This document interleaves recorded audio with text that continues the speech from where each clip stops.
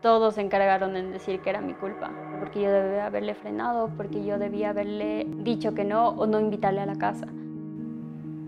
Decía que les iba a mandar a sus amigos a matar a nuestras familias. En mi colegio todos mandaban fotos íntimas a todos, como que fuera una selfie.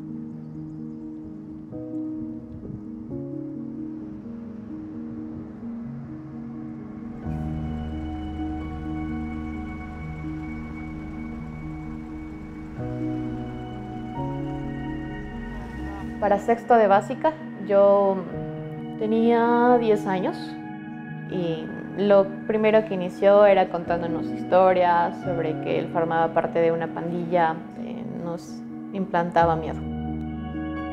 A mí una vez me pegó con el palo de escoba, metal, en las piernas.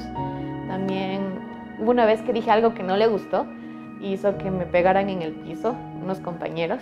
Después empieza lo que es ya el abuso sexual, cuando él inicia con las clases de ciencias naturales.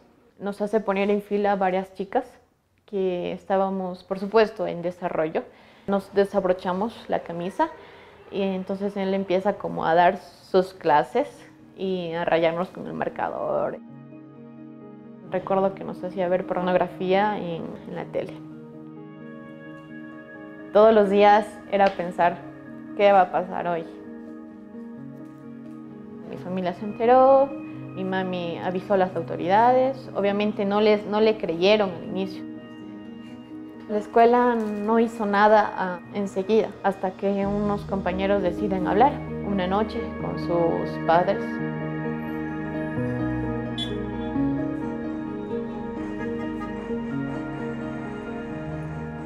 Al inicio fuimos todos mis compañeros a la fiscalía, dando nuestras versiones, contando todo lo que nos había pasado. Y así fue por varias veces cuando yo era niña todavía. Y nunca pasó nada. De ahí hasta los 17 años no volví a pisar la fiscalía, cuando ya lo atraparon.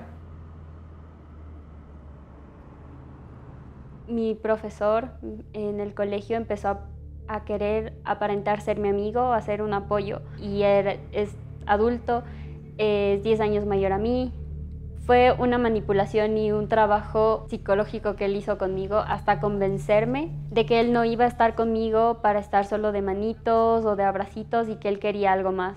Y de ahí tengo, bueno, ese cuadro estaba Yo no quise tener relaciones con él. Quise como terminar, pero él lo tomó a mal. Y después de eso em, le empezó con el tema del, del acoso hacia mí como profesor, a ponerme malas calificaciones, a reportarme por indisciplina. Todo ese año yo tuve ya intentos de suicidio porque era mucho el acoso de él hacia mí en el colegio.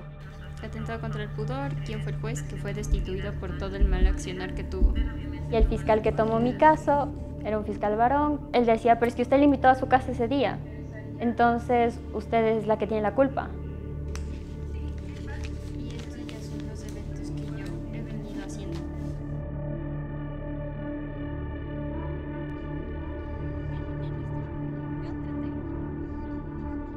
Creo que yo sufrí dos partes y la una es por parte de mi profesor y la otra es por el sistema de justicia, porque fracasa completamente en Ecuador.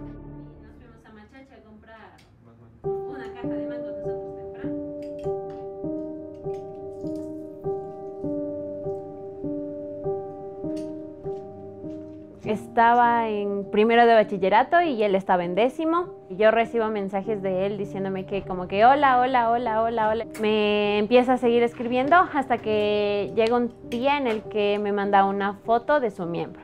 Entonces yo ahí es como que digo como que, oye, ¿qué te pasa? No hagas eso. Al año veo un mensaje de Messenger que era el mismo chico. Entonces él empieza como que, ah, que te voy a mandar una foto a ver si te gusta. Y pa, me manda una foto otra vez de su miembro. Entonces yo decido llegar directamente a la institución a decir que esto me está pasando. Me entero ese día que él es sobrino de mi inspectora de, de curso.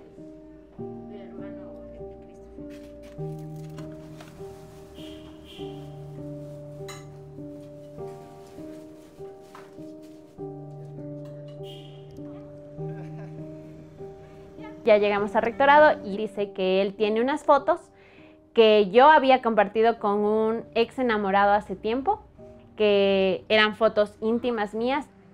El chico llega con estas fotos a decir que, pero si ella manda ese tipo de fotos también. Entonces él indica otra foto de mi Facebook diciendo, pero ella se viste así, se viste apegado, se viste corto, se pone faldas, se pone puperas. Ahí entra la psicóloga y dice, no, pero es que si yo le he visto cómo se comporta aquí en el colegio, tiene muchos amigos varones, en cierta forma también es su culpa.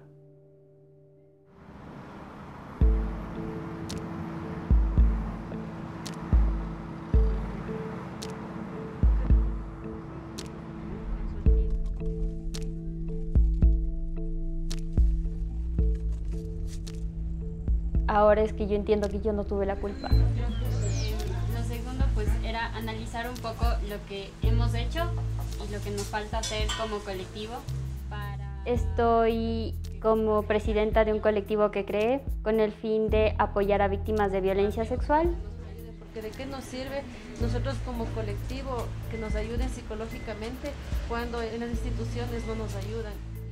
Y lo que el gobierno debería hacer para las personas que ya nos pasó esto es tener un proyecto o una ley sobre la reparación integral en donde nos permitan continuar con nuestro proyecto de vida y que a la vez haya el acompañamiento psicológico.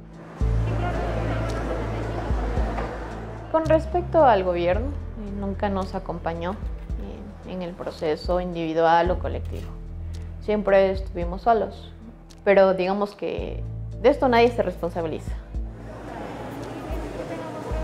No han hecho una organización que se especialice o que se enfoque en reparar los casos de abuso sexual e infantil en el Ecuador.